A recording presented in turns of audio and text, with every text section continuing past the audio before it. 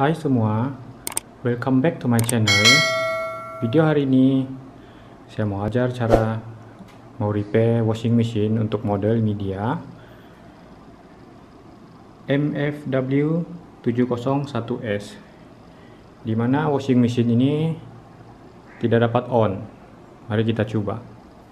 Ini soket ya power supply ya. Kalau kita on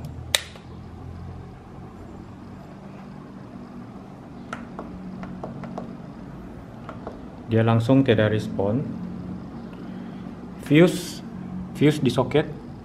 Sudah cek. Tidak putus. Masalah kalau kamu jumpa masalah begitu masalah dia adalah PCB dia. PCB dia ada masalah jadi kita perlu ganti PCB cara buka PCB pun tidak susah. Hanya perlu longgarkan 4 skru saja di tepi sini. Satu di belakang ada dua. Ini tiga. Dua tiga. Dan satu lagi di sini keempat. Selepas keempat empat skru sudah dilonggar maka kita boleh cabut. Kita boleh cabut head ini ke atas. Dan PCB itu berada di bawah sini.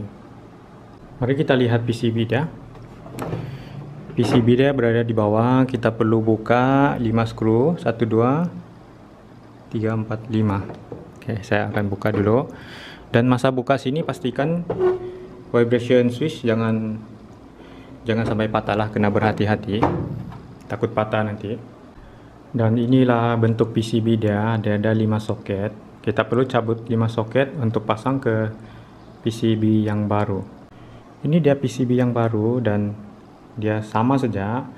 Cuma kita perlu buka soket sebelah sini ada tiga soket dan juga sebelah sini ada dua soket dan pasang ke PCB yang baru.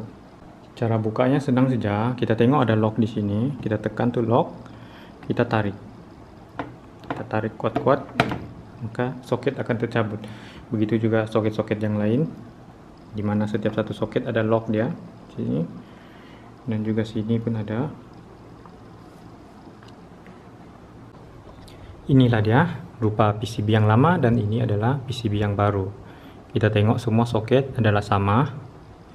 Jadi cara pasang dia pun tidak susah. Kita hanya perlu samakan saja dengan soket-soket di PCB lama kepada PCB yang baru. Dan sekarang saya pun sudah siap pasang PCB yang baru. Lepas ini saya akan pasang di mesin dan kita try selepas ini PCB board pun sudah siap dipasang. Mari kita tes power supply sudah on. Nanti kita te try tekan on. Semua berfungsi seperti biasa.